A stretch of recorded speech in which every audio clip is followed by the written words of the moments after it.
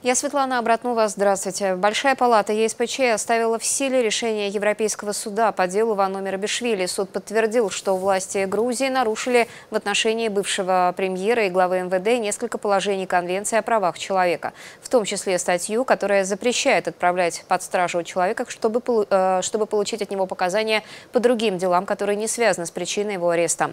Один из адвокатов Мирабишвили заявил, решение ЕСПЧ означает, что Вано Мирабишвили является политическим политическим заключенным.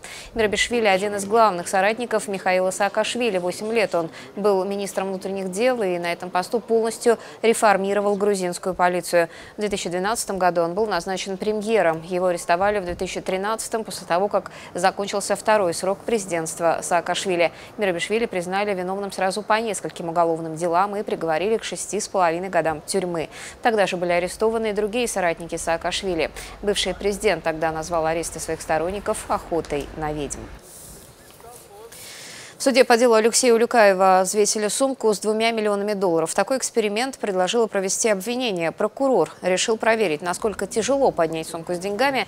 В результате объявили, что она весит почти 22 килограмма. Вчера показания давал сам бывший министр экономического развития. Он сказал, что в сумке должно было быть вино, которое Игорь Сечин привез ему в подарок. Кроме того, Улюкаев заявил, что никогда не угрожал руководству Роснефти, а главу госкорпорации обвинил во лжи. Сам Сечин на заседание в очередной раз не пришел. По версии следствия, следствия. Улюкаев вымогал у главы Роснефти взятку в 2 миллиона долларов. Бывший министр вину отрицает. Президент России предложил платить родителям 10,5 тысяч рублей по случаю рождения первенца. Таким образом, Владимир Путин намерен бороться с ухудшением демографической ситуации в стране.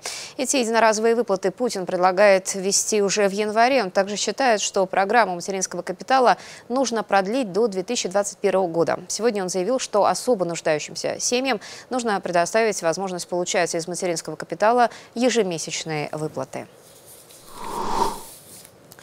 Израиль испытал систему противоракетной обороны морского базирования «Железный купол». Ранее система э, доказала свою надежность на земле, а теперь завершено испытание на борту военного корабля. Как сообщают израильские военные, отрабатывали сценарии ракетного нападения суши на морские объекты.